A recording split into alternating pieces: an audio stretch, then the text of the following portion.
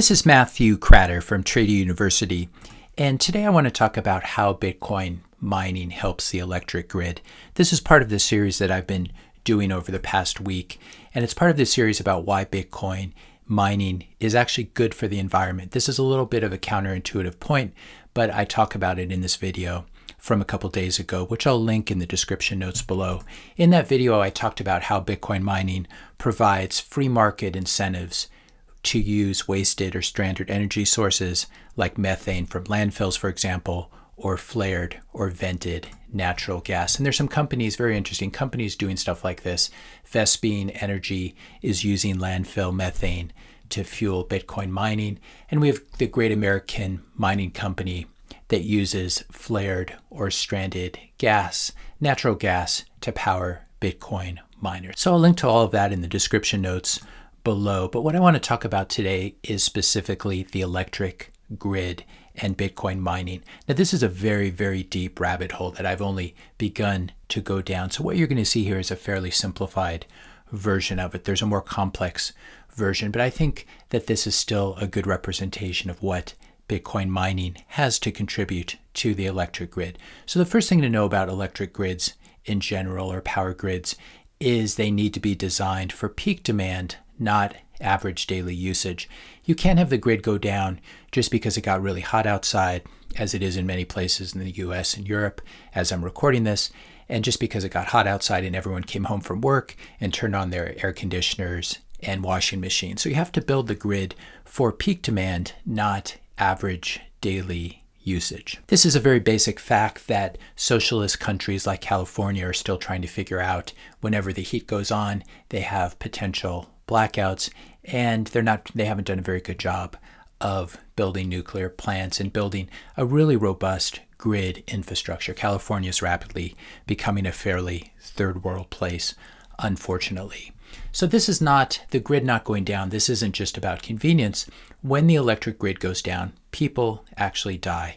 Productivity plummets as well. If you can't use your computer, if you can't use the internet, if you can't use your cell phone and communication channels, this is what the whole modern economy is based on. Not to mention the fact that if you can't if you can't cool your home when it's 120 degrees outside, if you have young children or babies or elderly people, you're really putting their health at risk. And not every building, not every hospital, not every essential service can have its own backup generator. Backup generators are obviously a fairly dirty and loud way to generate electricity. It's much better to have a modern grid. And it's not really fair to say that people just need to be flexible and learn to live without their heating and air conditioning. If we want to have a modern civilization, it's really nice, for example, neonatal ICUs that they can function without the electricity going out. And we've seen over the years, I don't want to pick on Texas because they actually do a much better job. Uh, ERCOT does a really good job with the Texas power grid, but we saw this example from January of 2022 where a lot of Texans died from the power going out and they did not have sufficient heating or electricity. If you're finding this video helpful so far, I just ask you to hit that subscribe button, hit the like button, maybe share this video with a few friends, especially friends who are very worried about Bitcoin's energy usage. So grid, electric grid 101, you need to overbuild the grid.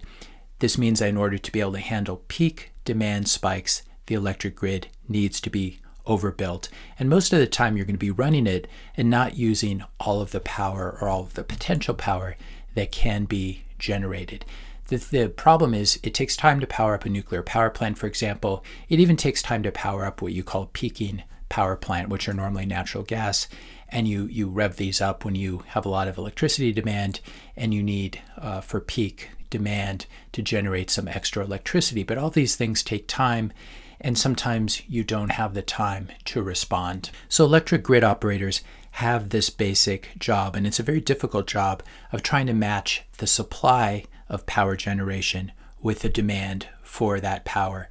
And the introduction of renewables into the grid, and I do put that in quotation marks because renewables are not quite as clean and renewable as people think they are. You need to dig up all the materials from mines, usually in third world countries. You have to dispose of all the old stuff. Not all of not all of the wind turbines and solar panels can be completely recycled. So they have their own trade-offs and their own dirtiness, but we'll call them renewables because that's what people refer to to them as. But matching, when you introduce renewables to the electric grid, renewables like wind, solar, hydro, it makes it even more difficult to match power supply with demand, and it makes grid operators' jobs a lot more difficult.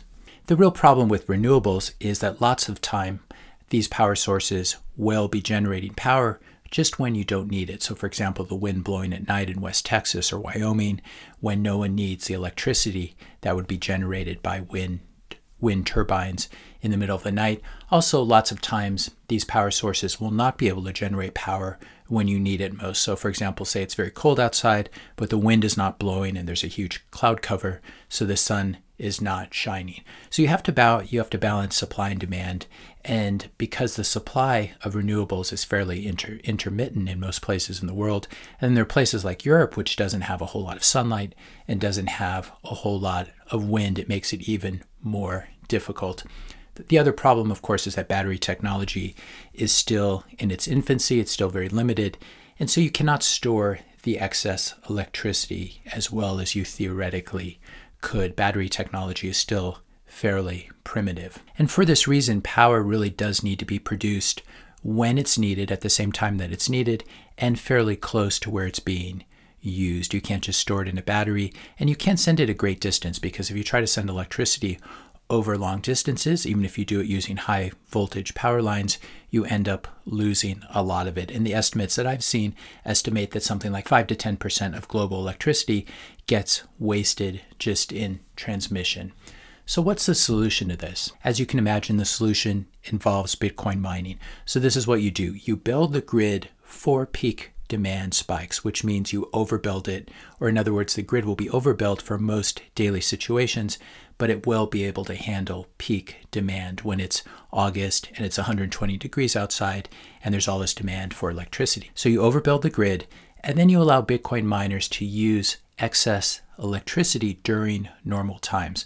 The grid has been overbuilt, so most of the time you're going to have this excess electricity being produced. It's not very simple to power down a nuclear power plant. For example, solar and wind and hydro may even be producing electricity, as we said, when you don't need it. And then when demand spikes, when you have these spike events, you tell all the Bitcoin miners to turn off their mining machines or at least to scale them back. And the way you incentivize this is by entering in, into cheap power agreements with Bitcoin miners. You basically give them really cheap electricity most of the time, and you put this into their forward power agreements. And then in exchange, they agree to turn off when the grid gets into trouble when it's late afternoon and it's 100 degrees outside and everyone needs to use their air conditioning and Bitcoin mining, at least in that area, can temporarily be put on pause. Now, there's no other industry like this that can quickly power down and power back on. You can't do this with server farms or data centers. You can't do this with factories. You can't do it with a steel plant or a cement plant on a moment's notice.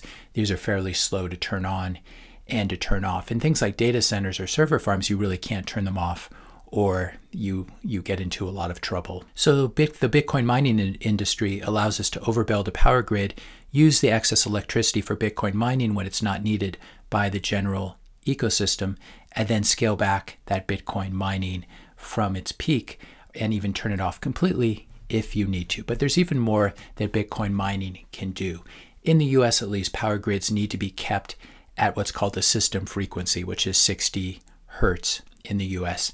And when you have power supply and demand, and when they're mismatched, this can affect this baseload frequency. And having lots of renewable power sources on the grid makes this job even more difficult. It's much easier to do with hydrocarbons, with fossil fuels, or with nuclear fuel sources because they're not intermittent in the same way that renewables are. So when you have power supply constantly changing, especially because of renewables. And when you have power demand constantly changing, it can affect and make the system move away temporarily from this baseload system frequency. And what Bitcoin miners can do is they can turn on or off at the direction of the grid operator in order to keep the help to keep the system frequency, this should say frequency, at 60 hertz. And so in this way, Bitcoin mining can be used to fine tune the frequency and keep it at 60 hertz. So if it's trading at 59 hertz, Bitcoin miners come on, drive it back up, and vice and vice versa. I will link to an article here that talks more about frequency response and how it works. It's a fairly technical article, but it's it's pretty interesting to read. I want to end with a really nice bonus, and that's the really obvious fact that people nevertheless forget, which is that Bitcoin miners and the Bitcoin mining industry is extremely mobile. It can be deployed where it's needed and then moved later. So for example, all those Bitcoin miners, they moved from China and came to Texas. They can be used in Texas now to help jumpstart the renewable industry there. And then if they're needed somewhere else, they can easily be moved. You can't move your gold mine, you can't move your cement factory. It's very difficult and expensive to move a server farm.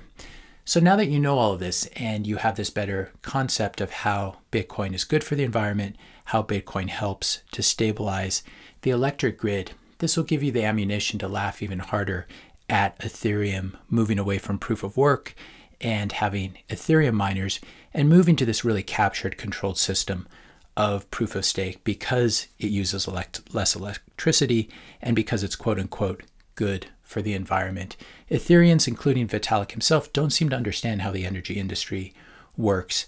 And they don't really care because they're moving toward this much more controlled system where the validators are large exchanges like Coinbase and Kraken, as I've talked about in other videos, who will be validating blocks and voting on blocks in the new proof of stake system. And they will be very subject to regulatory capture.